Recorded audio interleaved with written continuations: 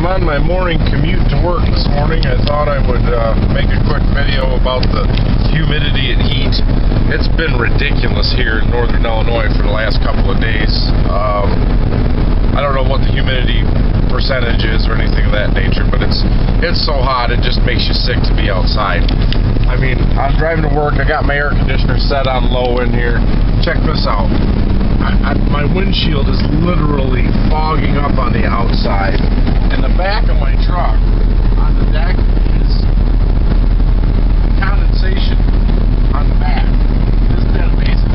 I've been driving for like 10 miles now, so that should be dry, you know, theoretically, but it's just not. It's just so extremely humid and wet out today that, uh, oh yeah, somebody told me I'm not supposed to film myself while I'm driving, so I guess I better do it like this. So yeah, I thought I'd just uh, take a quick video today and talk about this a little bit on the way to work. This is the this, Route 30. This is a crazy road here. In the last couple of months, there have been two major accidents on this road. There was uh, a car driving down the road the direction I'm going, and another one came from the side here and did not stop at the stop sign and got blasted. And people died, and then like a week later, the same exact thing happened. So you know, I've been driving up and down Route 30 for a lot of years, and uh, have never really seen anything like that.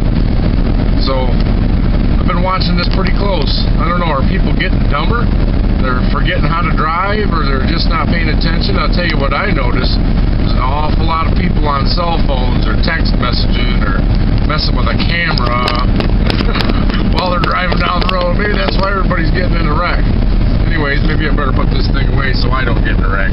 I just wanted to show you guys this humidity and how crazy this is here in northern Illinois. I mean, it's literally like walking out in soup.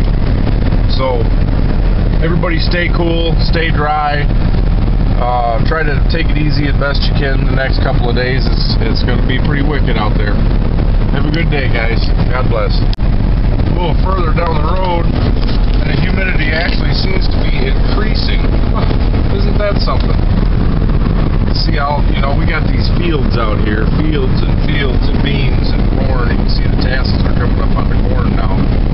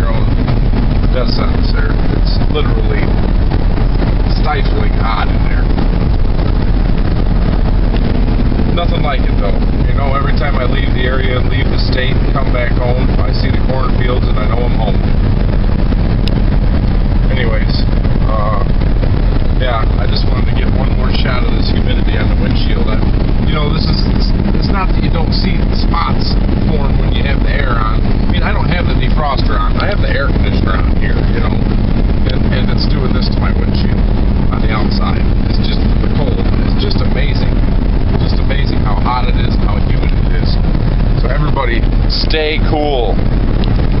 Peace out.